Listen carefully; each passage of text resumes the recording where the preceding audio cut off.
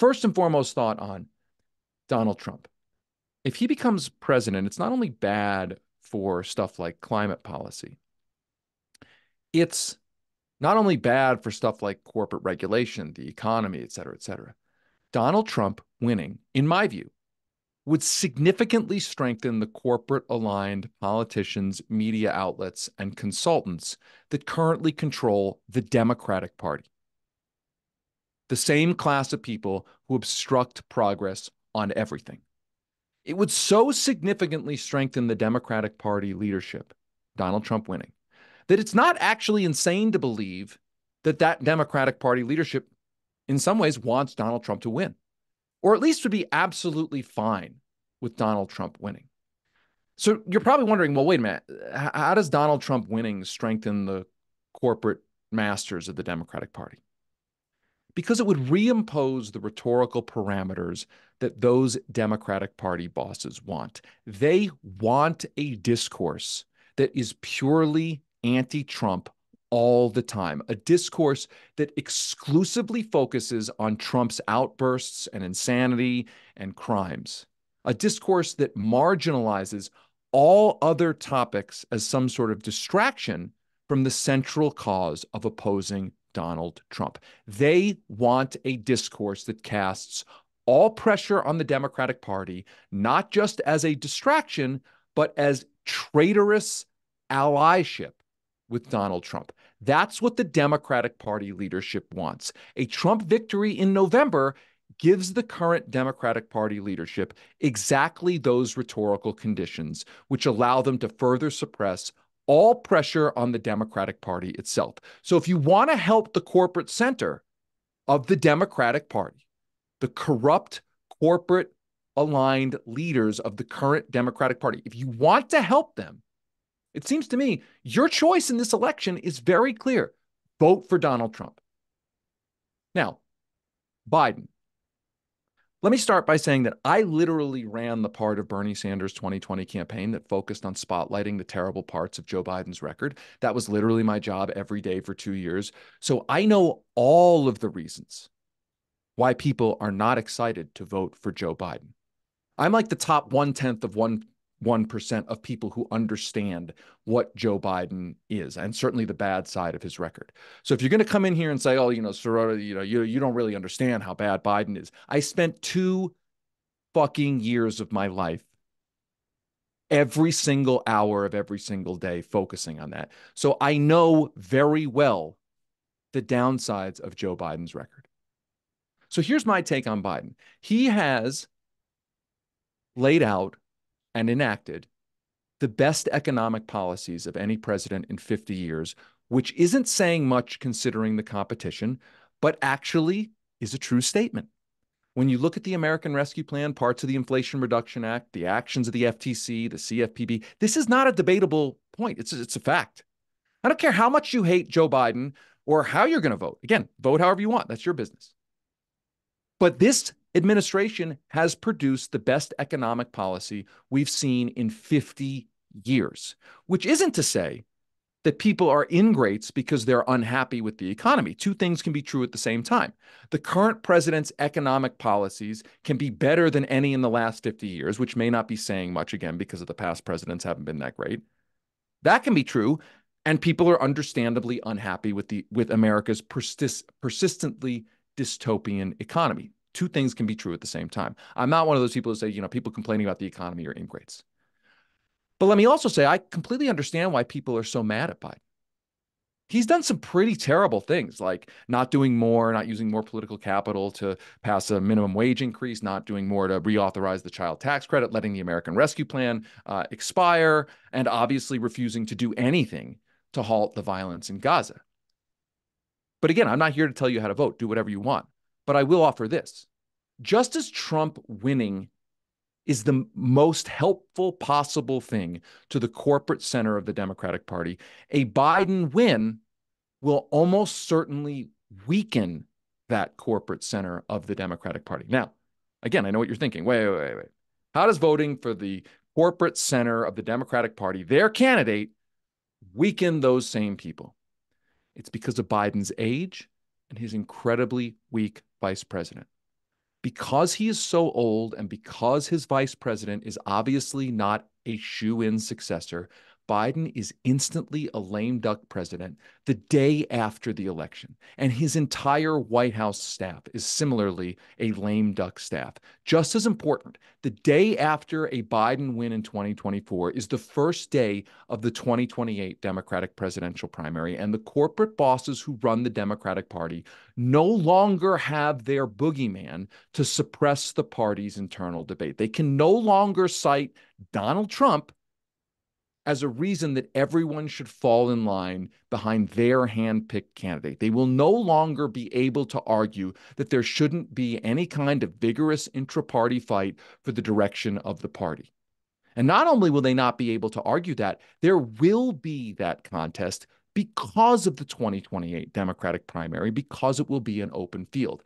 Unlike, say, Al Gore in 2000, Kamala Harris is not a strong enough vice president to be able to effectively clear the field. There are going to be a lot of candidates vying for the presidency and the Democratic nomination. And here's the thing they will be competing with each other to court various factions of the Democratic Party, including the party's progressive base. If you hate the corporate center of the Democratic Party and want to finally weaken its grip on power, that's the kind of competition you should want. It's the kind of competition that will almost certainly happen if Biden is reelected, but that almost certainly will not happen if Donald Trump is president. And Democratic Party, party bosses can suppress such a fight by saying that it allegedly weakens the party and undermines the necessary fight against Trump. Now, of course, I can, I can already hear some people saying, well, Sirota is saying we should reward Joe Biden's bad policies with our vote. And by doing that, we tell the Democratic Party that there's no price to be paid for their broken promise. That argument or, or that kind of argument, it's, it's, it's like saying you, you have to punish the party to get the party to respond to you. I'd like to believe that's the way politics works. I really would. But sorry, that's not the way politics works. Being blamed for an election loss tends to marginalize an agenda even further. In my opinion, what can actually change a party's overall direction, what we've actually seen happen in history, not some theory, is, is that a vigorous internal party battle can end up changing the whole direction of the institution. And that kind of battle can only happen if there's not an outside boogeyman like Donald Trump for the cynical, corrupt, corporate aligned leaders of today's Democratic Party to be able to cite that boogeyman to shut down the discourse. So that's my basic take on this election and how to think about electoral outcomes. I again, I'm not telling people how to vote. I'm just saying the two premises are Donald Trump wins is the best night in the world for the corporate aligned center of the Democratic Party. Joe Biden winning, it is immediately the day after the start of the 2028 presidential race, the start of major politicians in the Democratic Party having to compete, aggressively competing to court different factions of the party, including the party's progressive wing. To me, that's the kind of competition you want. Sorry for a long winded answer. Uh, no, I mean, I look, I think everything you said, well spoken. I think you just spoke a lot of realities and truths. And like you said, you're coming from someone who's actually participated, not just in a campaign, in the pretty much very same campaign to unseat Joe Biden. And I think that when I look at this, there are just political realities we have to accept. There would always be sort of a perfect world scenario. And I think a lot of the way that you have to approach voting is, like you said, it is a tactic. So I, am seeing a, a, couple questions right here that say, what if I live somewhere where I, my vote's automatically going to go one way or the other, and I want to cast a symbolic vote of support? To kind of double down on what you said, I don't think either of us are in here trying to convince anybody to vote one way or the other. You vote however you want. If that's if if it's on your conscience and you say I just cannot bring myself to vote for this person, that's your right. That's your right as an American. You don't have to tell anybody about that. I'm not certainly going to say you should or shouldn't do this. I'm not here to scold you. What I will say is that if you believe in certain political outcomes and objectives and goals, you have to necessarily look at this in a strategic sense. And that's not to or, or know, actually like- actually I, I would I, I, the, the other way to think about it is before you decide how to vote or whether to vote i think you should start with what outcome do i want Yeah. what's a realistic outcome that i not and not just like a any outcome that you want what's a realistic outcome that you what's the best realistic outcome you think can come out of this election? And Yeah. then from there you work backwards. Okay well then how do how do i cast my vote? If if i think it's a realistic outcome uh that uh a third party can win if if you're genuinely if you're being honest with yourself you're not like pie in the skying it and you're saying i think i think a third party can win so i'm going to vote for a third party. Hey no one can tell you you're right right or wrong. I'm not telling you you're you're right or wrong. If you generally if you genuinely think the best possible outcome you can hope for is space to be cleared for there finally to be an open seat democratic presidential primary that causes a vigorous intra-party debate that may be able to force the uh, eventual nominee to be much better on policy then I would suggest one way of thinking about that is that that's exactly what happens if Joe Biden wins because of his age, because his VP is is so weak. I'm just saying, think first about the outcomes you want. Be willing to be honest about what realistic outcomes are, and then from there, figure out how to how to vote, figure out how to engage politically in the election. Can I just jump in real quick, David, on the idea of outcomes? So the elephant in the room, I think, for many people who are listening right now, and I actually noting there is one questioner directly that I'm responding to, the issue of what is happening in Israel and Gaza right now. If you want to punish uh, punish Joe Biden because of his policies, what I would say is you have to look at Joe Biden in comparison with other candidates, and so. For one thing, if you are comparing Joe Biden between Donald Trump and Robert F. Kennedy, Joe Biden, whether you like it or not, unfortunately, probably has the more progressive side of that position. Robert F. Kennedy and Donald Trump seem to have both essentially endorsed exactly what is happening. They support Netanyahu's government. Trump has, of course, said, well, you know, I would end the war in one day. Nobody knows what that actually means. But that's, I think, one thing you have to consider when you think of political realities. The other thing with the idea of voting third party is the same thing that I would say it is the political outcome. And so if you believe that a third party candidate is the person that can do the job, think that entire premise through. I think that yes, there is an attraction to voting for a third party candidate because on a certain issue they're saying what you want, or rhetorically they're saying what you want. But the reality is, is that being the president isn't just rhetorical, and you have to think through is this person really going to be able to do the job that is going to get done? And I'd be curious, David, when you worked on the Sanders campaign, that's probably something that you guys thought about when you thought about policy. What are the political realities of what can actually get accomplished, right? You still have to go through a House, you still have to go through a Senate, you have to go through limitations, you will have to play politics. But I think when I've said that before to people, that is something that and I'm sure, like you said, I can hear people probably getting mad at me for saying this, but it was sort of like I, I broached like the third rail of something to say that is this person able to convince swaths of their party to be able to get behind this kind of legislation, whether that's Medicare for all, whether that is the pa- passing of a minimum wage law. I think that there are just political realities that we need to accept. And in that way, that's how I think consider who is the best person to lead the party. But how did you kind of balance that? Is that something that you thought about when you were campaigning? Is that there are certain things that are feasible and there are just certain things that aren't? Well, I think I, I don't think it's static. I think that what somebody campaigns on can build a an election mandate to then compel the Congress to do what they campaigned on. I think we have had campaigns like that in the past in which the um, the candidate has not followed through in trying that. And I think that's why I, think that in part that's why the social contract has been torn apart.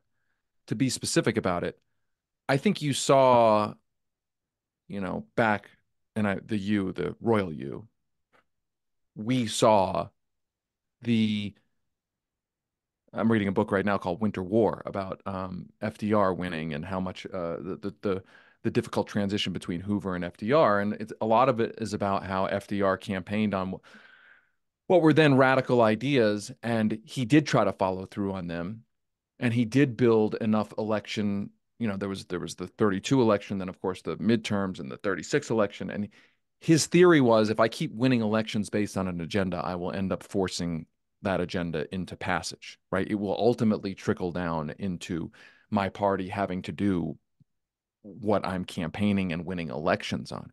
I think, unfortunately, in the modern era, we have seen uh, Democratic presidents, uh, uh especially I, I, think a lot about Obama, raising the prospect of lots and th- lots of things are going to happen, campaigning in a sense like FDR campaigned, and then immediately refusing to even try to implement uh, a large, broad, sweeping agenda. And I think when people watched that, it shredded the social contract. It shredded the expectation. It shredded people's uh, faith that campaigns mattered much, that anything matters much, and thus created the conditions for the Joker, Donald Trump, right? Like, yeah. the, and I mean like the Joker, not ha ha. I'm talking about like you know people who've watched the movie The Joker or Joker, I guess not called The Joker, but Joker, the modern movie, you know, Joker, sort of Joker politics. Nothing matters. No matter what I say, it doesn't, wouldn't matter what my opponent says, no matter what anybody in the political arena says, it's all bullshit. So just vote for me to blow up the system. So I think vis-a-vis, you know, campaigns, I think we have gotten so used to candidates campaigning on promises and then abandoning those promises that there's actually not nearly as much outrage for abandoning those promises because it's been normalized because we've gotten used to that. And i think i think that's sown again the conditions for donald trump to succeed now again i keep going back to when i think about this election i keep going back to what do i want the day after the election what do I want? Do I want a stronger uh, Democratic Party political machine to be able to say, everyone shut the fuck up? The only thing that matters is stopping Donald Trump. If you're pressuring the Democrats to do anything, you are making an alliance with Donald Trump. Do I want that outcome? Or do I want the outcome the day after the election where different governors, different congresspeople are thinking about running for president and are starting to tout a much more uh, populist, progressive agenda and trying to court different pieces of the party to build a coalition to become the next president after Joe Biden based on that. That's the outcome I want. I can't think of a time that we've had that. Maybe I guess you could argue 2008 between Obama and Clinton where I do think that debate was actually really healthy, really good. I mean, Obama didn't follow through on what he, I mean, he, I, I mean, I, I may be the only person in America willing to say this, but I think Don, uh, Barack Obama created the conditions for Donald Trump. I think that. Uh, I, I, think it's almost. I think, I, I, think there's, yeah, no, I mean, I, you're not allowed to say it out loud in, in polite company, but but I think that's in, entirely true.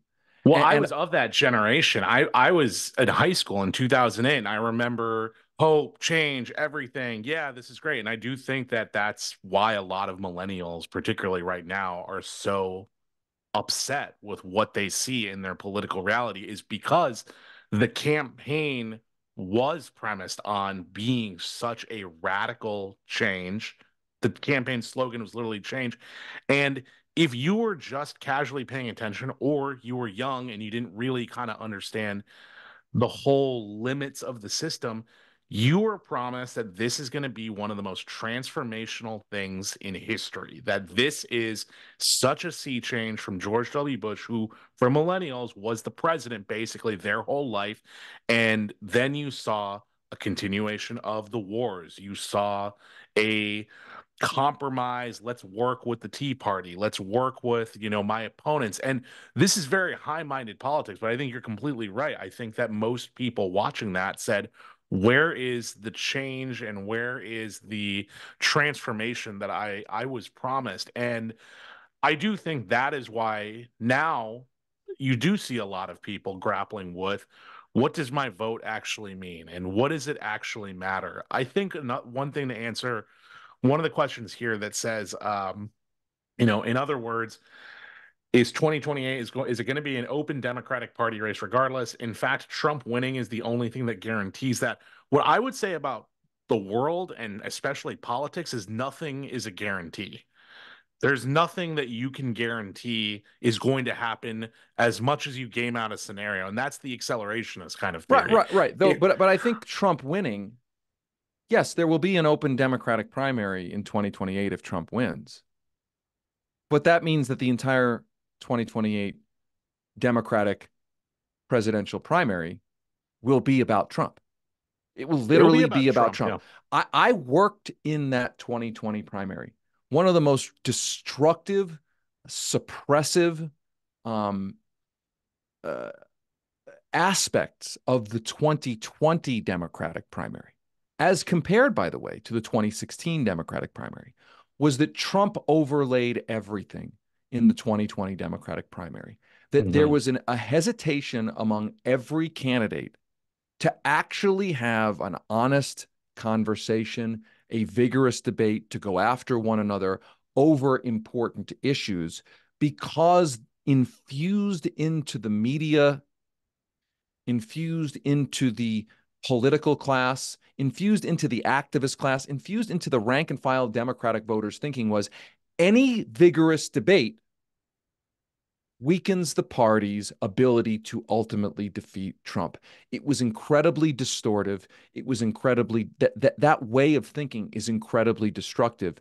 And what I'm hoping for is a 2028 presidential contest where that's gone where there can actually be an uninhibited uh, competition for the base voter of the Democratic Party. And we haven't had that. It, un, I mean, it's not to say we've never had that. 2008, there was a little bit of that. Uh, and 2016, there was there was that. Uh, yeah, that's why you saw. I thought you saw Bernie Sanders being much more willing to go after uh, Hillary Clinton than Bernie Sanders was willing to go after Joe Biden. And I was right there having arguments with Bernie Sanders about how he had to go draw a much sharper contrast with Joe Biden. And the hesitation was not just from him, but from the a lot of the apparatus around him and from a lot of uh, voters, certainly from a lot of the Democratic consulting class, was you can't draw a sharp contrast with Joe Biden because that's only going to, if Joe Biden ends up being the nominee, that's only going to weaken him in a battle to unseat Trump. I mean, I think that that whole theory is horseshit. Yeah. I think it's complete garbage right that I that I don't think there's much evidence for the for the fact that a vigorous open seat primary I don't think there's any evidence at all that a vigorous open seat primary weakens the ultimate nominee uh, for the general election. I mean, Hillary Clinton uh, and Barack Obama ripped each other's face off in 2008. I mean, they destroyed each other, and Barack Obama won a huge a huge election victory. So I, I think also that, think that's how we got here right now with the state of the unpopularity of Joe Biden. For one, a primary forces you out onto the campaign trail. You have Absolutely. to participate. But as you said, it, it battle tests you. And so I think so many voters feel like where was our voice to even say this is what we want to push for? To the point that so many people in primaries just said, we'll just vote uncommitted. Is that what it's going to take to send this guy a message? And I do think that if there was a more real primary, you did have Marianne Williamson and Dean Phillips. I think if there was even at least just one debate between Joe Biden and Dean Phillips and Marianne Williamson, he might have actually not assuaged people, but maybe put some people to rest to say, look, fine, we went through it. We were able to get a, a primary, and the guy still won. And you can pick apart all the reasons that that a lot that you know being the nominee and having the party behind you leads to that. But at least people might have felt a little bit better in saying whatever we got our chance to try. Now you basically skipped over the primary. You don't really hear a lot from this guy on the campaign trail and he just goes out there and we don't really have a sense of what energizes the base of voters what messaging works and what's not.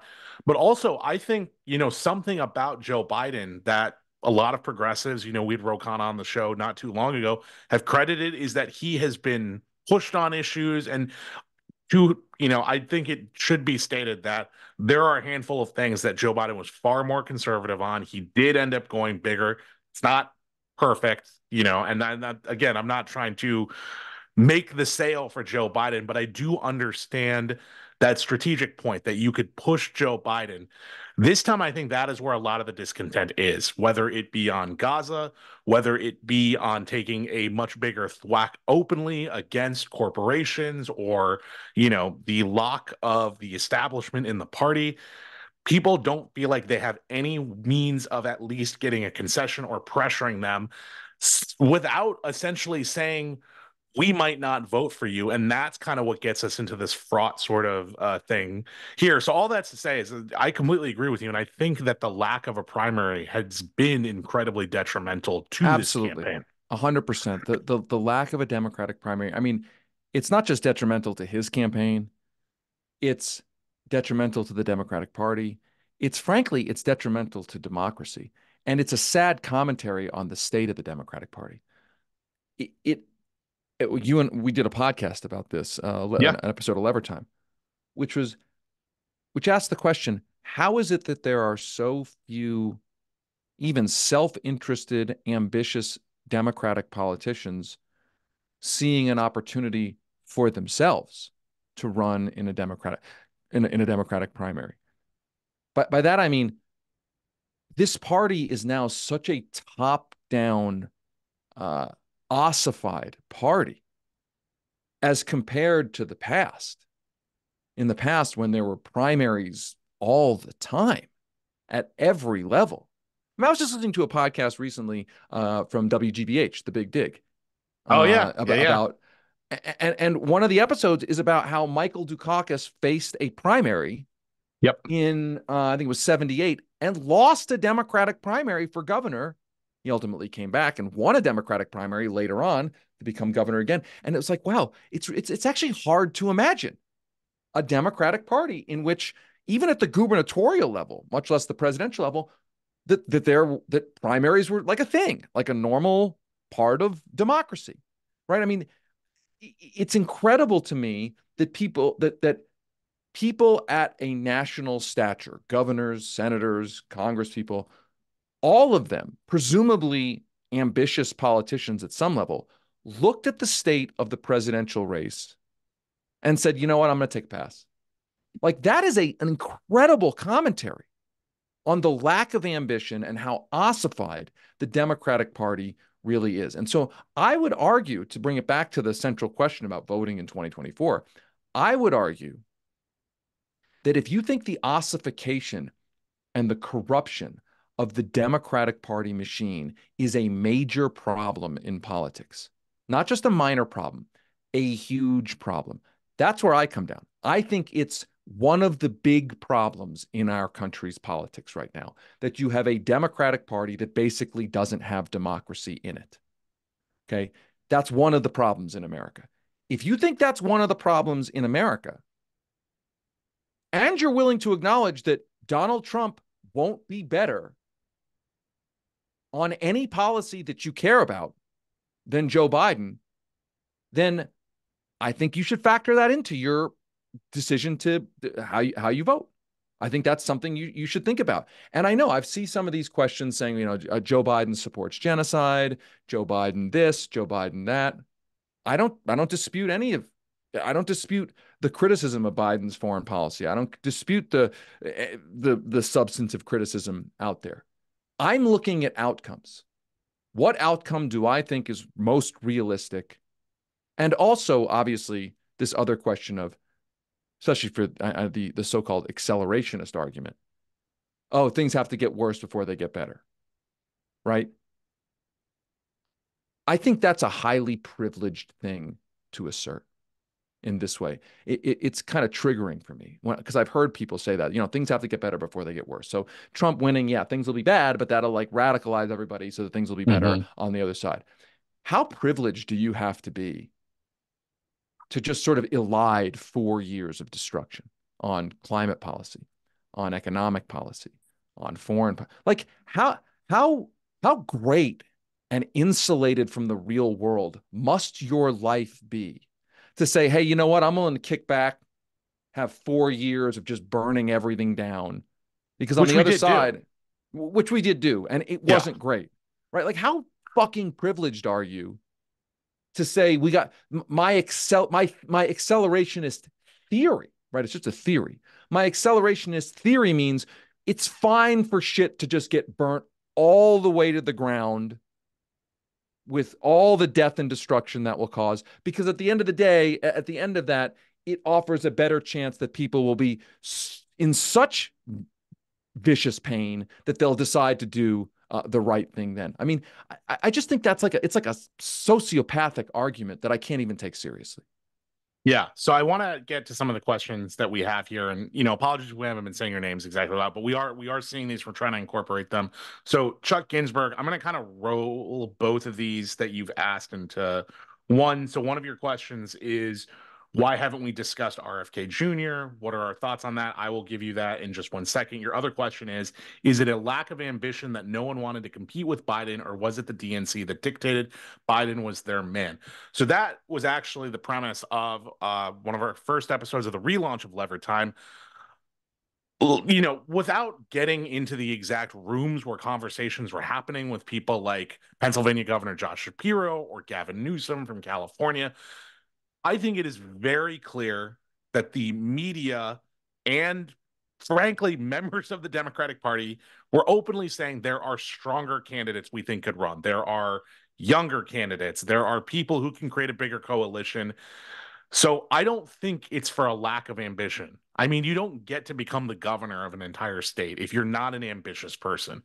Uh, you don't. No, no, wait a minute. Wait, I'm going to dispute that. Okay, uh, I think that most Democratic politicians today have have learned and or come up through a system of compliance to get where they mm-hmm. are. Right. And that their method of getting where they are is to play by the top down rules. That there yeah. are not a lot of of politicians in the Democratic Party at any level who uh, crashed the gate there are very few who crash the gate.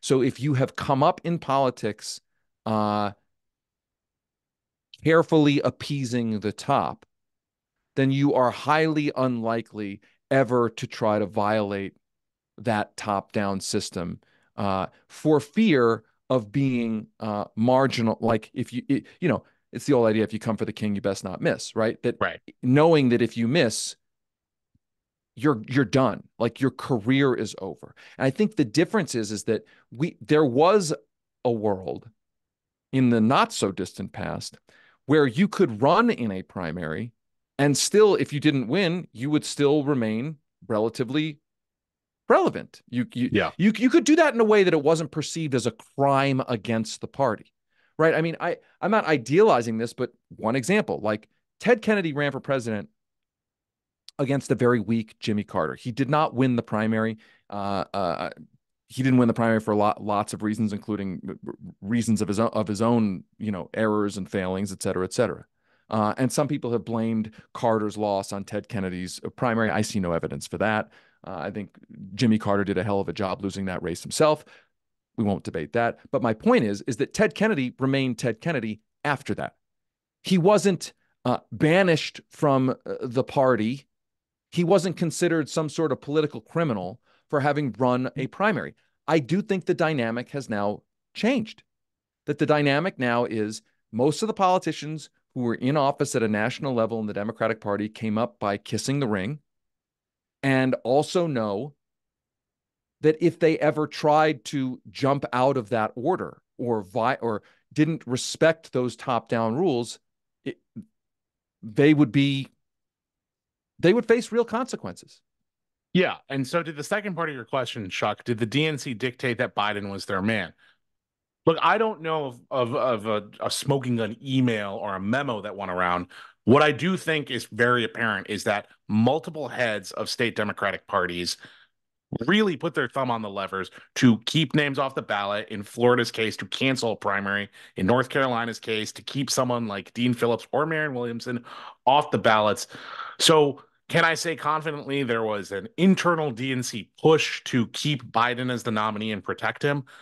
I, I think we can say presumably. Presumably, because it, or it would be a very odd coincidence that multiple heads of state Democratic parties all decided, you know what, we're just not going to put other people's names on the ballots.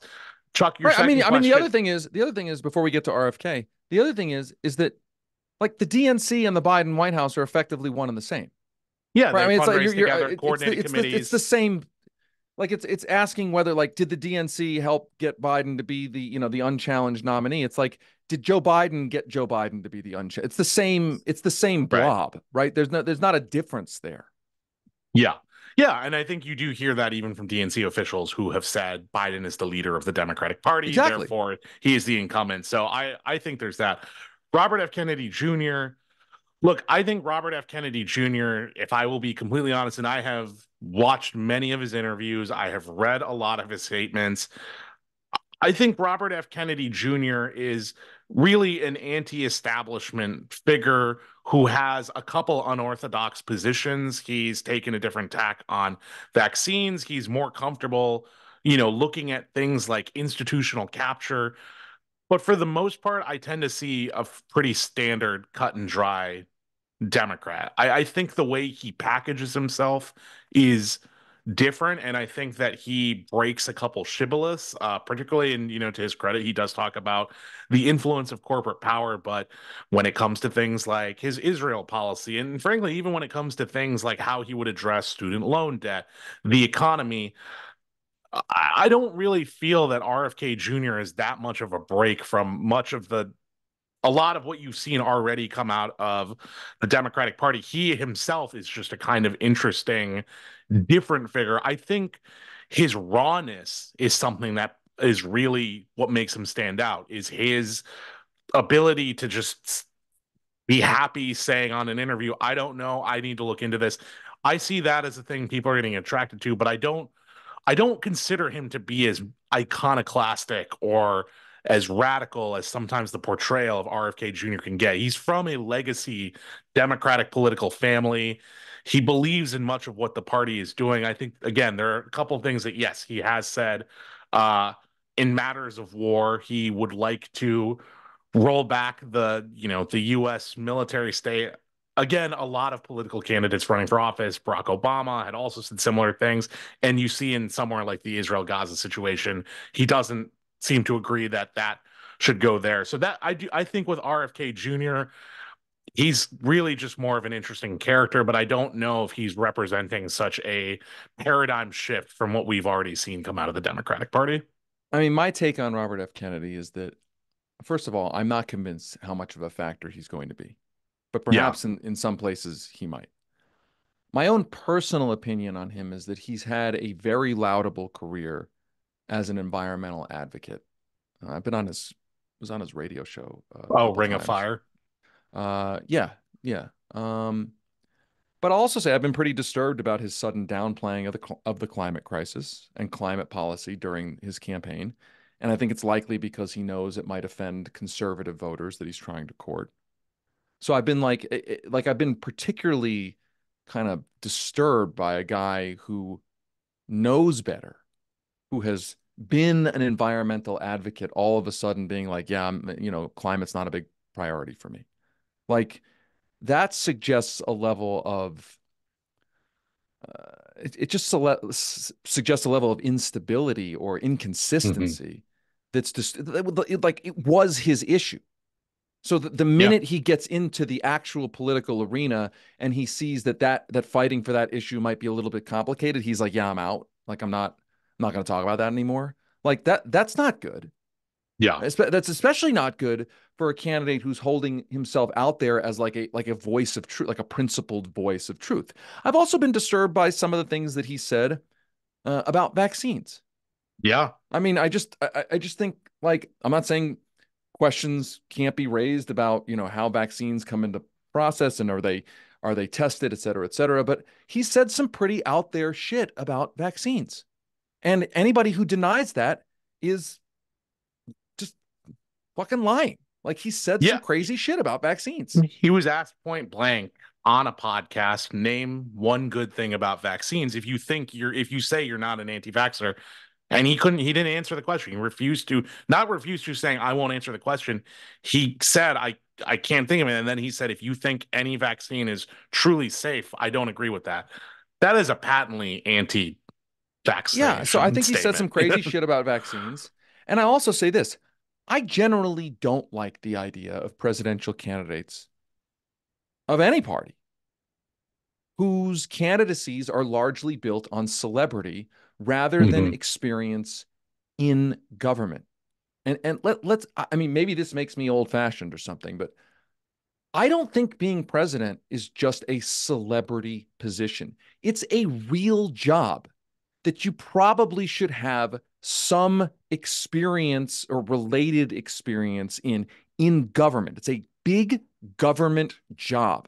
I think the trend of electing presidents with almost no executive experience in government has been bad. Trump yeah. is the most egregious example of this, being, you know, a guy who has, I mean, you could say he has corporate executive experience, like sort of running. I think the, that's even being generous. Yeah, I mean, like, like sort of. He has no experience running any kind of public entity. And by the way, Obama had barely been in the US Senate, had zero executive experience running any large public entity. That wasn't a great presidency either. And it's the same thing for somebody like RFK Jr., and who, it's worth adding, if we're going to be really honest, is only even in this race because of his name. If his name was Joe Schmo, he wouldn't be any kind of factor at all. And if you can't admit that, again, you're fucking lying to yourself.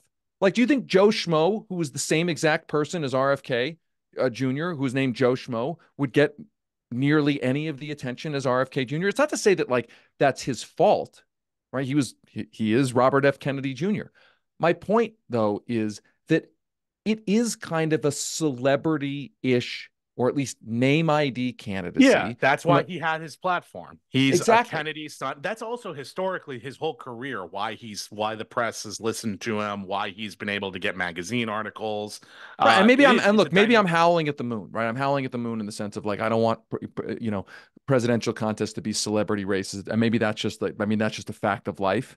But like I don't I don't think I don't think that's that that's great. And I I want to go back to I really don't think it's great to elect presidents who have no executive experience in in the public sphere. I think that's bad. And I, I, you know, maybe you're like, uh, maybe people are eye rolling and saying, well, you know, get over it. Like Donald Trump's been president. Yeah, I thought, I think that was bad. That was bad. So, and, and I think, you know, I, I go back to, I'm not sure how much of a factor Robert F. Kennedy Jr. is going to be. Uh, and, and again, I'm not telling you to vote for him or not vote for him. That's just, I'm just giving you my sort of thoughts on how yeah. I think of Robert F. Kennedy. Yeah, so I think a good continuation is Karen from Portland, Oregon. David has just described the reason for the death of the Democratic Party. Do not be surprised that the next four years, parentheses, no matter who wins, that a third party grows from 2024 through 2028. RFK Jr. should be seen in a congressional hearing of any kind before you consider him. This will encourage you to never vote for the man. Um, so I will say he was actually in a congressional hearing uh, not too long ago. So if people want to look up that video, um, do not be surprised that a third party grows from 2024 through 2028. I look, I, I will be honest, and maybe you know, even in my 30s, I'm starting to get cynical about this. This is like every election. I feel like there has been this, you know, the establishment candidate has has not done quite the things, and there's always this thing that says, look, eventually a third party is going to mobilize, it's going to get bigger, it's going to do that.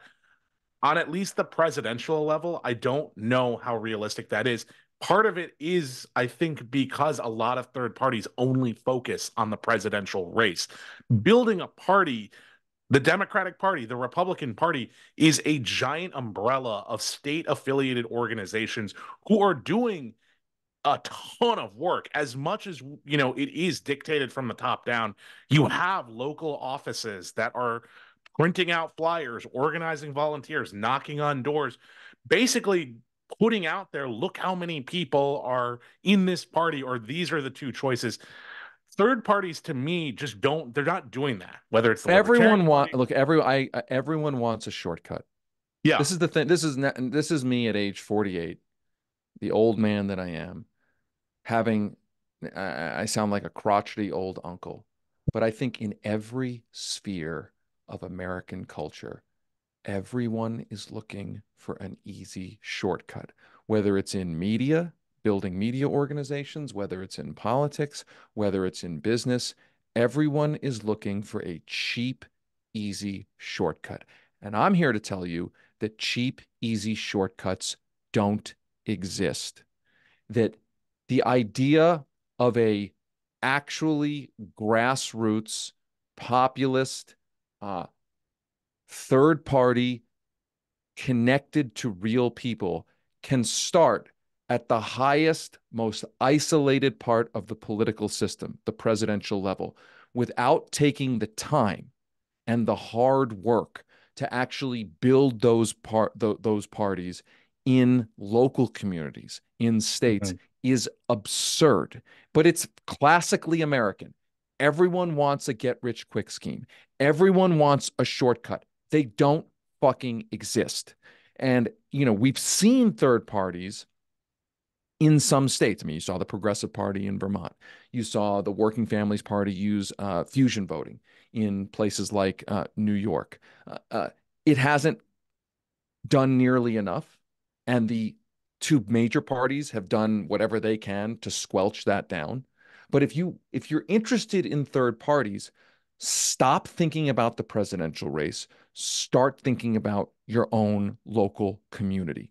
I know it's not as sexy. It's not as glamorous. It doesn't give you a sense that you're going to change the world overnight. But the world doesn't change overnight when it comes to American politics. Yeah. By the way, I, I, I want to reiterate because I'm because that's going to get taken out of context. if you want to vote third party in the presidential election, have at it. I'm not here to tell you how to vote. Well, I think that is exactly the the theme of what we're talking about tonight. We're talking really in terms of strategy. I mean, again, your vote is your vote, but you ostensibly want your vote to go go towards something. I do think if you want a third party candidate to grow between 24 and 28, I would work on the local level. But organizing is difficult, and you know, raising that kind of money can also be difficult. So those are just the reasons why I don't think a third party is really necessarily going to run. Also, um, also, I want to bring up. I want to let's do some rapid fire questions here. Pete, yeah, Pete yeah writes in Clinton, and Obama, uh, oh, Clinton and Obama both lost Democratic primaries. That is true. If Biden wins, regardless of the views of her, there's a good chance that Harris could be running as president. Look, I think Kamala Harris will run for president uh, uh because that's what vice presidents tend to do. I, I would take it a step further. I think there's a chance that Kamala Harris becomes president because I don't think Joe Biden is looking very good. I, I think that the, the, the, craziest part of the oh, entire oh, like election in a second term becomes the yeah, president. Yeah, no, no. The craziest part of this entire election is is, is that there. Like, I'm not trying to be morbid. I'm not trying to be predictive. I'm just like, you know, uh, on an actuarial table, there's a good chance that Donald Trump or Joe Biden die in office. Like that's like just actuarial table data here, statement of fact. So I think there's a, a decent chance that Kamala Harris is the president. And I think that's an unbelievable disaster for the Democratic Party in 2028. And I think there's a situation in which Kamala Harris is the appoint essentially the the not appointed president, but but the successor president becomes president sometime in Biden's second term, uh, and then there isn't a contested, vigorous Democratic. I could see that playing out, but I want to underscore could. I still am not convinced that Kamala Harris is perceived within the Democratic Party, even within the Democratic Party elite, yeah. as as strong enough a candidate, as skilled enough a candidate to squelch down and to crush, to say, you know, the governor of Pennsylvania, the governor of Michigan, uh, this senator, that senator can't, shouldn't, must not be allowed to run against them. I, I just don't think she's earned that space in the Democratic Party. Yeah. So, but but but I certainly could see that. I certainly could see that. You know, it's 2026. Kamala Harris is now president. Like, what happens to 2028? I mean, and, and it does raise it does raise an interesting question because look, you know, if if you believe that Donald Trump is an existential threat to the United States of America, and yet you are also like, let's renominate a wildly unpopular 81 year old incumbent. Like, there's a little bit of tension there, isn't there? Like, Donald Trump is an existential threat to the entire United States and to the world. He must be stopped. That's one message from the Democratic Party elite. And the way to stop him is we just we just must renominate an 81 year old historically unpopular incumbent. Like, well, which is it? Is it like Donald Trump is so dangerous that we need to do everything we can to stop him, or is the priority just deference to the dear leader? Right? Because I think if you're if you care about defeating Donald Trump, if you if you sincerely are worried that Donald Trump is the worst threat to the to the United States and the world, as the Democratic Party pur- purports to believe in its advertisements, then you would have thought that the same Democratic Party would be like, "Hey, you know what? Maybe we should find a stronger nominee. maybe maybe the 81 year old wildly unpopular incumbent is not the best guarantee to stop the thing that we're saying is the existential threat which then of course if you you know you take those two those two thoughts together you're like wait a minute maybe there are parts of the democratic party that don't mind if donald trump wins which goes back to my theory which is that i think the top of the democratic party knows that it will be just fine when if Donald Trump wins. Not only fine that they will be able to continue their grift. If you are a Democratic consultant right now and you're making a lot of money on TV ads, if you are a Democratic uh, Party official right now uh, and you've got a, a, a good high paying job at the DNC or whatever, you know that if Donald Trump's president, the next four years, just you sending out emails saying, give us money, to stop Donald Trump. Yeah. You know your job is way easier in 20 in 20 the day after the election if Donald Trump wins, way easier than if the day after the election Joe Biden is president and there are seven candidates running for president in 2028. Want to do a couple I more think, questions? Yeah, let's do it. Are there any ones that are standing out to you? Um, let's see. Got, uh, Patrick Patrick's question right here. Patrick, you say I am engaged in ballot initiatives in Michigan. It helps drive turnout for Dems. We've lost relationships that build political ties and targeting our base. This is technocratic and managerial corporate style politics. It is funded by wealthy donors. It follows best business practices. This style of politics attends to elite concerns of companies, corporate agendas, concerns of higher wealth individuals. It's plutocracy stuff. In Michigan, we are doing grassroots work to build power. So look, I I'll say right off the bat, Patrick, I don't think you're wrong, and I think if you follow the work we do here at the Lever, we're trying to expose every single one of those things, and we're trying our hardest to do it. What I'll also say is that you're a grassroots organizer in Michigan working on ballot initiatives, dude. You've like to your credit, you've pushed this party, and I know it doesn't feel like it does, and it can feel like you're getting constantly slapped in the face. But people like you, you're the reason the Consumer Financial Protection Bureau is going after credit card companies. You're the reason Joe Biden's former chief of staff, Ron Klain, met extensively with the Congressional Progressive Caucus. You're the reason he tried to go with the biggest version of Build Back Better rather than the more scaled down one, which was originally where he started at. So, you know, I I I agree with everything that you you say in this this statement or, or this question. I guess all I would say in response to it is um, people like you are making a difference. And I know it's not enough of a difference. It doesn't feel like a difference, but that is how I have seen some of the things coming from this administration. We've talked about on Lever Time. There are some positive economic things that have come out, some of the best economic policies I, in 50 I, years. I, I think that can't be. I mean, I know one of the things that I find most annoying about the discourse around this not just around this uh, this uh, this election, but the way we talk to each other in this country, or at least the way people who follow politics talk to each other, is if you say something good about a, a candidate, it must mean you love that candidate and think they are perfect. If you say yeah. something bad about the other candidate, it must mean you love their opponent. Like, I guess what I'm saying is statements can't exist unto themselves, right? So, but but I think that's all a preface to say.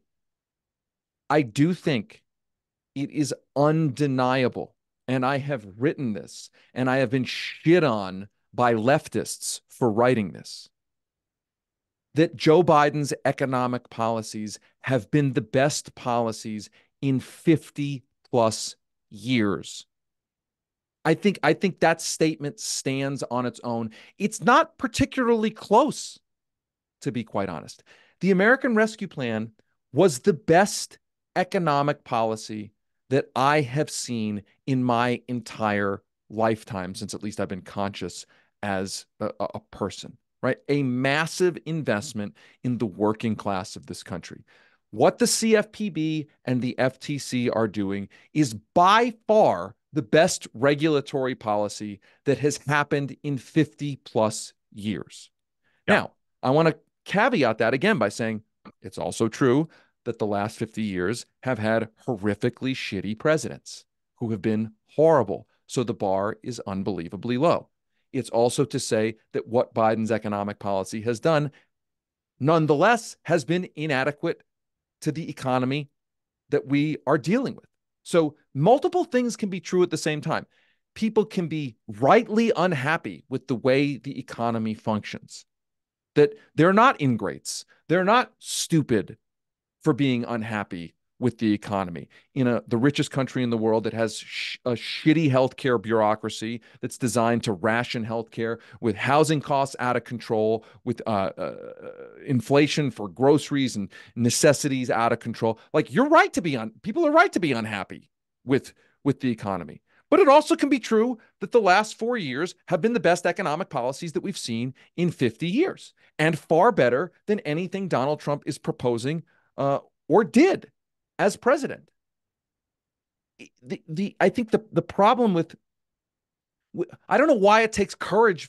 Like I, I'm, I'm like getting nervous just saying that because I know I go, oh, Sirota's just shilling for Joe Biden, or you know, he's just saying Biden's Biden's great. I'm not saying Biden is perfect or great. There's plenty to criticize Biden about, but I think if you can't acknowledge what I just said, if somehow you think acknowledging it means you're giving Joe Biden a pass on everything else, like you've lost your fucking mind. You're part of the problem in not being able to have an honest discussion about any of this. So, to be honest, I'll just level with people. Everyone here is a paying lever subscriber.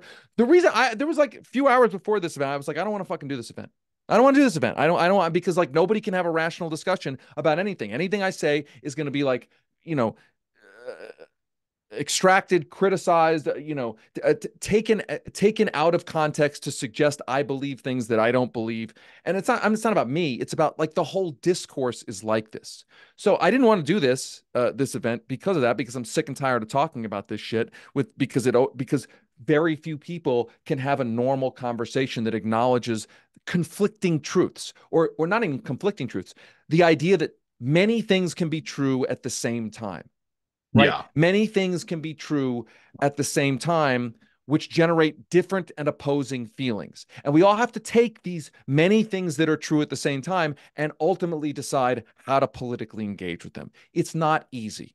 It's not easy. But I think, especially in spaces like this, we need to presume good faith, not bad faith.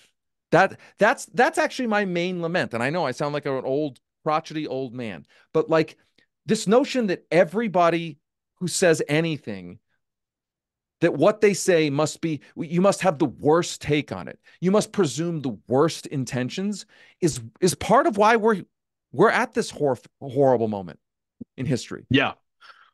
I also think you know and what you were doing is that you weren't standing joe biden. You were recognizing the work of like the person patrick the grassroots organizer you are acknowledging the power of that work and i think that that is something that i I don't think it's For healthy sure. to get overcome with with cynicism and despair as much as I personally feel it, as much as I mean, we spend our entire day talking about crappy things happening in the entire world.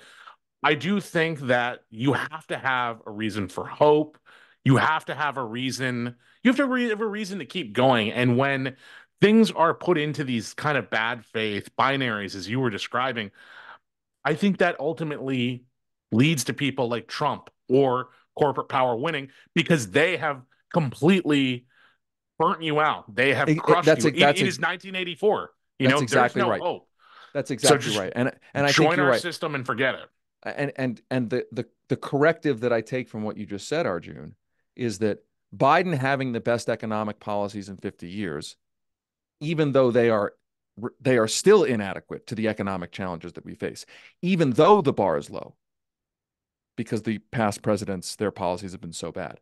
Biden having the best economic policies in 50 years is not as much a credit to Joe Biden as it is to the fact that he was forced to take those positions. Yeah. Joe Biden was a conservative corporate Democrat for 30, really 40 years. The good economic policy that has come out of his administration is because you can credit Joe Biden for one thing, one one skill that Joe Biden has. Re- really it may only be one skill. Like he may not have any other skills other than this. Okay. Joe Biden's one skill is that he knows where the center, and I mean the popular center, not the elite center. He knows where the center of the Democratic electorate is. And he puts himself right there, maybe one slight click to the right of the center of the rank and file Democratic Party. And the work to move that center to a more progressive set of positions, especially on economics, was work that will never be fully recognized, will never be fully honored on a person by person level. But that is the work of years and years of grassroots organizing, of electing Mhm. people at the local level, at the state level, right? Like, so the credit you can give to Joe Biden is that he knows that his skill is he knows where the center of the rank and file Democratic Party is. The credit Yeah. that you can give to unions and organizers and communities is that that center through decades of work was finally moved. Yeah. That's that and and and so what you should want when you think about how to vote in 2024 is again, I want to for people who are just joining, people want to think they're voting for a person what you because because we're we're in a followership culture, a celebrity culture, right? I mean, look at like Twitter, right? You follow a person, right? Yeah. Like we, we've been taught that we like when we go into the voting booth, we're voting for like a per- and you are voting for a person at one level.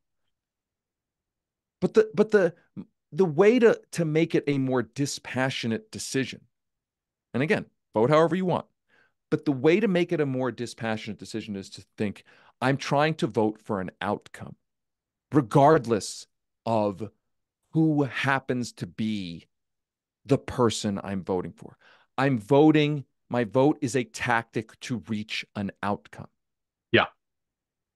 You can still vote for someone and walk out of the voting booth still saying "fuck that guy." Totally. More hundred than percent. okay. And and I think you know it's more. If anyone's listening, if that's if you feel like he's better than Donald Trump, he's better than Donald Trump. You can still say "fuck that guy." I hate the way everything about him. All of this. Let me be clear. There's only been one person that. I've ever voted for who who I who I have nothing bad to say about. There's Michael only one Dukakis. person. There's only one person I've gone into the voting booth and voted for who I love unconditionally as a person. I have a, and that's my feeling I know. wife. Okay. yes, I have voted for my wife, who's a Democratic state legislature, Democratic state legislator. I have voted for her unconditionally. I mean, I have her and I have our differences, but I don't. I, I love her unconditionally, right? But like, short of that, like, I haven't cast a vote for anyone who who I don't have differences with. I've never voted for somebody who I think is perfect. In fact, most of my votes, I'm voting for people I don't like as people. And I, I don't like their I don't like their politics because that's what because voting is not an expression of my uh, love for a person. Right. Voting is my my bet, my tactical, and everybody's up. You know, everyone is has a right to how they perceive their tactics. I try to cast my vote by thinking about if I want this outcome, how do I calibrate my vote, regardless of who, which of these people that I am that I hate, I like personally. Just what is the outcome I want? So how do I cast my vote to try to get closer to that outcome? Yeah, absolutely. Um, Selena Sweet, you don't really have a question, but I just like uh, Kamala Harris showed her deficits in the chutzpah department when she passed as California Attorney General on nailing Mnuchin for his destructive impact on mortgage holders. I wanted to just read that out because I like the use of the term chutzpah department. I thought that was a good use. Uh, I also want to shout out the book Homewreckers, which is actually exactly what you're talking about here. David, do you know about what happened in California where Steve Mnuchin was, I believe he was uh, a stakeholder or even possibly the owner of a company that was basically buying reverse mortgages off of people elderly people were tricked into signing these reverse mortgages. Their families were left on the line. And yes, Kamala Harris uh, passed as California Attorney General. I think she cut a deal with Mnuchin. Yeah, to not prosecute him. Yes, and there's a great book about it called uh, Homewreckers that I yeah. uh, encourage yeah, look, everyone I mean, to go check out. I mean, look, Kamala Harris. I have a I have a lot of thoughts about Kamala Harris. Uh, it's a whole subject for a whole other live event, or you know, to discuss Kamala Harris. I mean, I am extremely unimpressed with Kamala Harris. I do think being vice president is a difficult job to to sort of uh, uh, distinguish yourself. Uh, it's kind of a weird job. I mean, that's why there was a whole sitcom about it called Veep, which is all about how weird a job uh, vice president is. Um, but I think, you know, I I do think the benefit of Kamala Harris, and, and we're going to wrap it up here in a sec. I do think the benefit of Kamala Harris is that at least right now, she is not the presumptive successor to Joe Biden. She probably will run for president. And so I think where I want to I want to end where we where we started. This is an event about how to think about your vote in 2024. Uh, and I think I want to reiterate this you know this point. Think about your vote tactically. Think about what outcome you want. Try to not think about the individual people you're voting for voting against. Think about outcomes and consider the, the fact and i'm not trying to tell you how to vote but i think it is it is a good bet that donald trump becoming president it, let me let me step back and say this if you are unhappy with the current Democratic Party's leadership, I think it's worth considering that the best thing for the Democratic Party leadership, the thing that will strengthen them the most, is Donald Trump winning. I, I think it's almost undeniable that they gain more power if Donald Trump wins, more power to control the party, more power to control the discourse with Donald Trump as president because everything then becomes everyone shut the fuck up and just focus on stopping Donald Trump. That's what the center, the corporate elite bosses of the Democratic Party want. And I think it's also a good bet that if Joe Biden wins, the day after the election, the 2028 competition for the Democratic nomination begins, and that the competition will include candidates who are trying to amplify and court the progressive base of the Democratic Party. And that is the kind of competition that you want. That is the kind of competition that can produce, or at least has the chance of producing, a better overall Democratic Party, a better Democratic nominee. Vigorous, small d Democratic primaries are a rare thing in the Democratic Party. I believe the fact that they've become so rare is the reason why the Democratic Party has been so bad in the current era. And so Joe Biden winning and immediately being a lame duck creates an environment for a little bit more democracy in the Democratic Party. And this says nothing about, again, says nothing about how how much worse Donald Trump's policies, uh, his proposals are than Joe Biden's current policies and proposals. I mean, I I I just mentioned that because not to downplay it, but but I think that's undeniably true. But I'm sure yeah. I'm to be accused of like you know shilling for Joe Biden. I mean, if you read the lever, you know we don't shill for Joe Biden. Like, uh, like you you know that I'm not shilling for Joe Biden. I'm just trying to trying to drop some like obvious truths here. So that's that's all I got for everybody. Yeah, uh, I don't think I have much more to tack onto that. No, I think this is a lot of fun event. Thanks for participating, everybody. Yes, let me let me say that too. Thank great. you, everybody. Yes, thank you, everybody, for for participating. Thanks for being here. Uh, thank you for being a paid subscriber. Uh, if you like the work that we do, please become. I know you're already a paid subscriber, so I'm I'm not trying to like ask for too much, but like if you really like the work we do, pitch into our tip jar or become a lever leader. We are a reader supported news organization your support. We can't, we literally can't do the reporting that we do without your help. So if you want to pitch in, if you like events like this, if you like the work we do, please continue being a paying subscriber. And when you can, pitch in a little more if you can. But either way, thank you so much for your support. Arjun, thank you for being here tonight. Thank you. And listen to Lever Time, everybody. Absolutely.